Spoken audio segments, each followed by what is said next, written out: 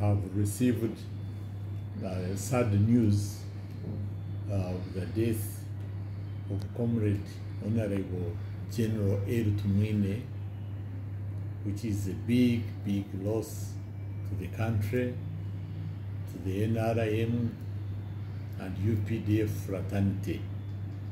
I extend condolences to His Excellency the, the President of the Republic of Uganda and the Command-in-Chief of the Armed Forces, to Jode, to Mwine and the children, his family, and all friends.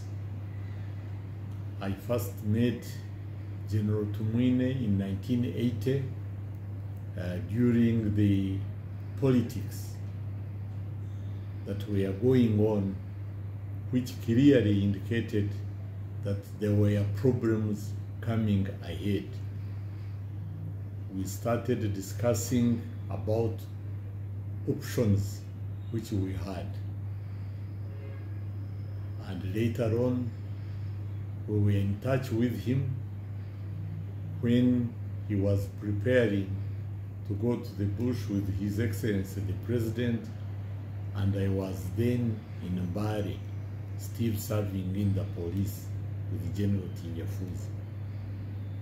And soon after, I joined him in the bush, and we fought together throughout the, the liberation war, the guerrilla war in Luwero Triangle and Rwenzori. He served as our army commander.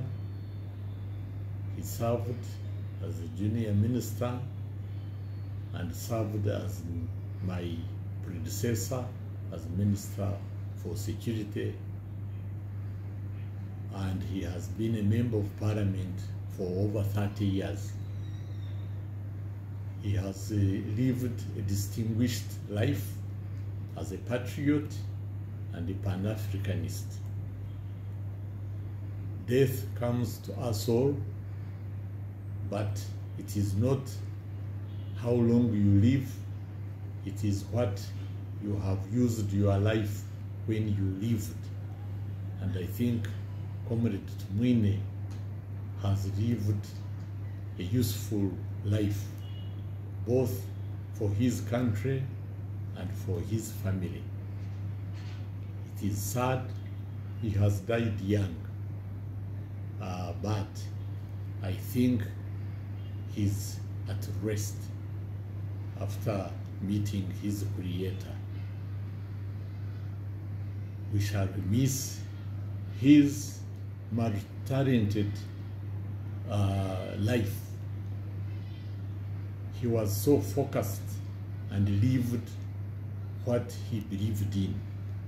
Very truthful.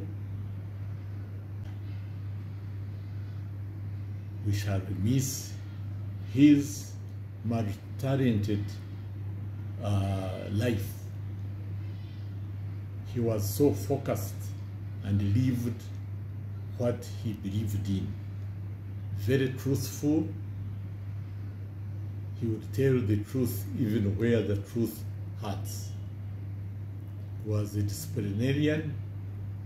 He was a, he was really a loyal UPDF and NRM cadre.